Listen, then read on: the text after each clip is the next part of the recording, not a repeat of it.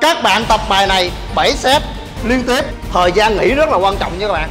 Mình tập phải kích thích cơ liên tục Thời gian nghỉ đủ ngắn Để cho cơ nó đang đạt trong một trạng thái là Không, passo, passo Một Chậm chậm thôi.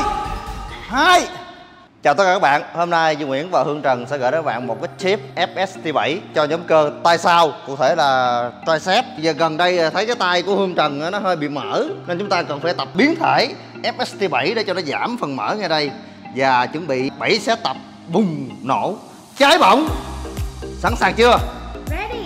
Đây là bài tập có tên là Overhead Tricep Extension Chúng ta chỉnh cái cây này cao cao lên Rồi đây các bạn tập, tập đi, tập đi, tập đi đó, duỗi ra, đúng rồi.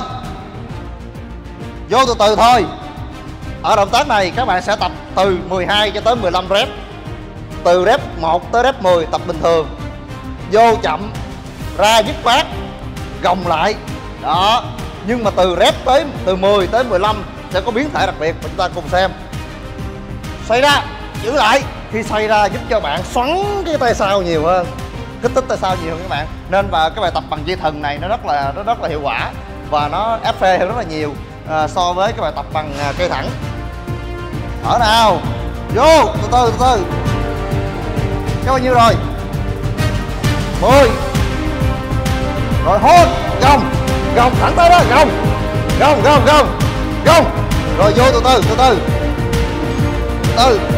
Tiếp tiếp. Rồi. Gồng. Hôn một, hai, ba, bốn, năm, tiếp. Một cái nữa. Rồi, vô. Lóc lóc lóc lóc trở lại. Căng căng căng nhất nhất không? Nhất không? Rồi, ra. Vô, cái cuối tập trung. Nhất Nhất Nhất Nhất Nhất Một. Hết sức có thể Vừa mở đang chảy nè, mở chảy, ton ton ton ton. Rồi, vô thả, từ từ từ từ từ từ từ. Chưa xong đâu. Cắt tay ra làm sao? Căng cái này lên, căng cái tay sau lên. Nhức không nhức không nhức không nhức nhức cố lên cố lên. Nhức cố lên cố lên. Nó có một xếp thôi đó. Chúng ta tập 7 xếp như vậy, liên tiếp.